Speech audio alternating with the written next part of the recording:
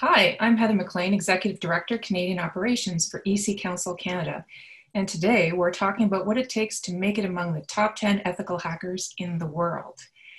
To be on the leaderboard, you must pass both the CEH knowledge based exam and the CEH practical exam, achieving the master credential.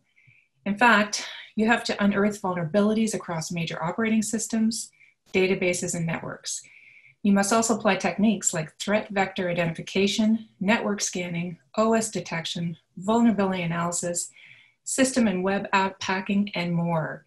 And if that wasn't enough, people who make the leaderboard must solve 20 complex real world challenges that would be encountered on the job. And last but not least, you have to pass a rigorous six hour challenge that replicates real corporate networks. And this quarter, I'm excited to say that a Canadian has made the leaderboard, only the second time, in fact.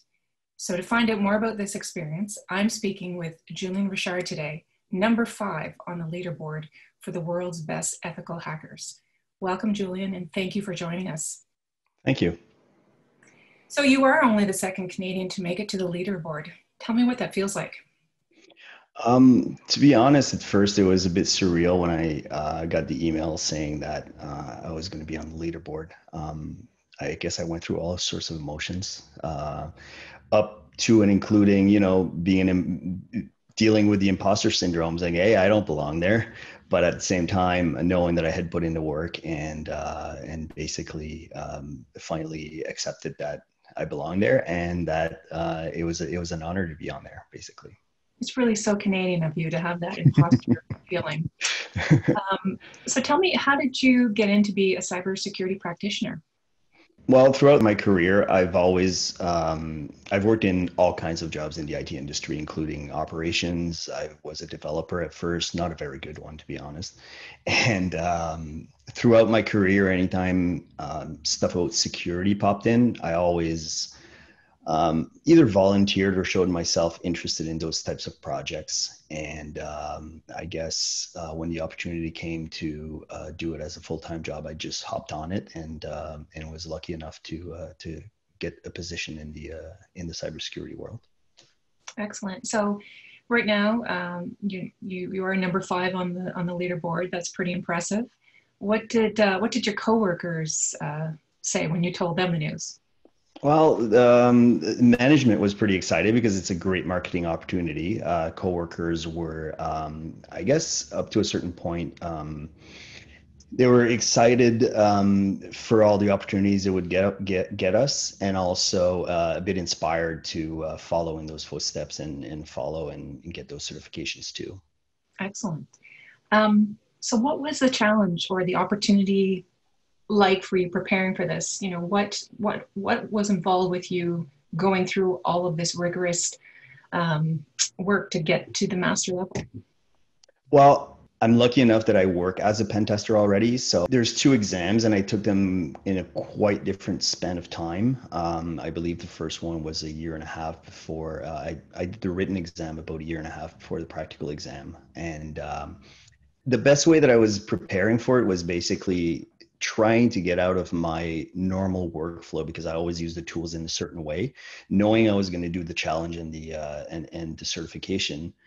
I was looking at those tools differently, looking to see if I could leverage them in a, in a different way, and trying to see the full um, the full utility of the tools uh, because I knew was, I was going to be tested on not just the way I use them, but the way that um, basically how malleable the tools are and everything else. So leading up to taking those exams, I, I spent a bit more time learning the tools as I was doing the work. But at the same time, I was doing a lot of capture the flag online um, in different um, different websites and whatnot using those challenges to play around because obviously on client networks they won't let you play around. You need to do the work in the time allotted and everything else. So i was also uh, supplementing the the work with um, stuff on my own on my own time after hours and whatnot. So obviously it was a lot of work preparing for the exams the whole process.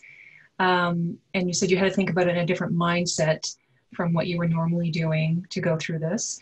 Um, how, how has this made you a better practitioner? again, the same, it, it, just flows into that same mindset where using those tools in a different way really showed me the potential of them. And instead of um, trying to basically it got me out of the rut of always doing the same thing the same way. It really made me experiment with these tools and know what they were capable of doing. And obviously reading up on them uh, whether it was a training material whether it was uh, just reading the, the manuals for the tools and whatnot it really helped me um, basically get more skills um, so it really it really did help me. I i did you know second rounds of pen test a year later and found stuff that i hadn't found the first time. So that's obviously really isn't that interesting? So, yeah. so really the extra work and the practice and the you know going through the whole thing really paid off for you obviously. Absolutely. So why do you think more Canadians should be pursuing uh, a CEH certification or even the CEH master? If you follow security news, I, I, follow security news all the time. I'm sure you do also. Um, you always see new breaches, new vectors of attack, new ways of, of companies are, are getting attacked. And whether they're successful at defending it or not, um, having these types of certifications, especially, especially on the offensive side, if you keep learning new techniques and, and, and new um, avenues of attack, you will be better at defending a network. You'll be better at making recommendations for companies uh, to to be secure. So it doesn't mean that it needs to be purely Canadian. If you're working for an, a company in another in, in another country or whatnot, it's a very very very good idea to have an understanding of how these people are are attacking and how to defend. Uh, uh, how, how to defend against these attacks. And what better way to do that than actually doing it yourself you know? It, will make you if you're if you're defending a network getting your ceh certification uh, will make you a better defender just by knowing what kind of techniques the attackers are using against your networks. And going through this have you changed uh, a lot or a bit of what you do in terms of how you approach your work now that you've gone through this whole process and have the certification one thing that it helped me was to slow down a little bit because, especially on the practical exam, um, you tend to want to do everything at once. And you want to you see these 20 challenges in front of you and you want to tag these challenges as soon as possible. Same thing with if you give me an infrastructure to for me to to attack then i'll be looking am i going to go to this avenue or that avenue? It, it really helped me focus and and focus on one thing at a time. And doing doing the right steps in the right way uh, of course but at the same time you want to make sure that you're focusing on one thing 100% and that's what this challenge really taught me was don't jump around. Just do the one thing go as deep as you want to go. And if it's not working you're not finding anything i'll just move on to the next thing. But don't start 20 scans and then be completely lost in your uh, in your process. So it really helped me um, uh, have a better workflow. And from, from speaking to other people who have gone through this certification or others, um, they've really talked about how the practical focus of, of the certification really um, made a big difference. Uh, and so I, am assuming, and from what I'm hearing, I'm, I'm, I'm guessing it's the same for you that the, the practical component and the practical focus really was a big component or a big piece for you. Absolutely. It's an option that was added to the CEH that is worth a lot, uh, in my opinion. Written is a written. Anybody can memorize para- parameters or, or, or, or, workflow, but if you don't apply it, um, it, it it'll show up pretty quickly if you show up at a job and or at a new position and whatnot and you just sit there and you've memorized everything and you don't really understand how things flow and how things work. But the practical exam really puts that into into focus. You really need to understand the tools to be able to be successful in the practical exam. Absolutely. Now you said your colleagues were excited for you and management was happy about what this could mean for for obviously for the business. Um, have you thought about challenging any of your colleagues to uh, try to uh, make the leaderboard as well? I didn't have to. They challenged themselves. Uh, I just spoke to a coworker this morning who uh, who passed uh, certification, and he's already focused on passing the CEH. Um, there's another one of my coworkers who were working on a capture the flag last weekend. He was learning a lot. Um, it was basically his first capture the flag. He was having a whole lot of fun. Stayed up until like midnight working on it, and then uh, come to find out his next certification is going to be CEH also.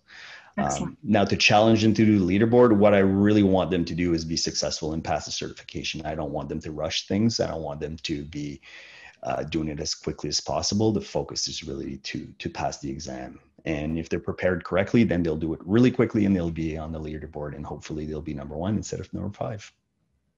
You know, it's fantastic too because in a sense you can be a mentor to them for going through this process. So that's it's really nice to see that uh, collegial aspect to to the approach as well.